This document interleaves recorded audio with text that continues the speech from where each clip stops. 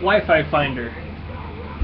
Okay, uh, I used to use NetStumbler on my old laptop.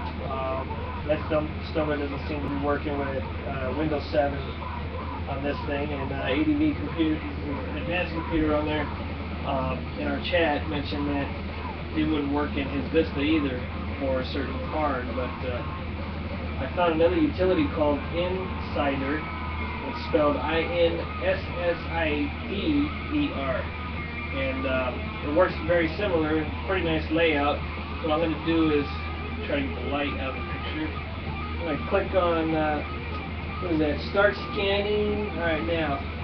And what you can see here maybe is this red one is my uh, Wi-Fi connection. This unknown is probably probably has something to do with my internet connection that's on my roof. I, I have a Wi-Fi connection. Uh, this is just showing your signal strength. It's pretty cool. Um, I was walking around my school district today inside the halls and I had a few of them going and, and as I walked away from them they dropped down and then uh, there was an unknown that was in there too. I couldn't find where that was. And over here just shows like a history of it so you can go back and look at it. And, and uh, it has a lot of other information on there that a lot of mumbo jumbo I don't I don't fully understand and don't care to learn.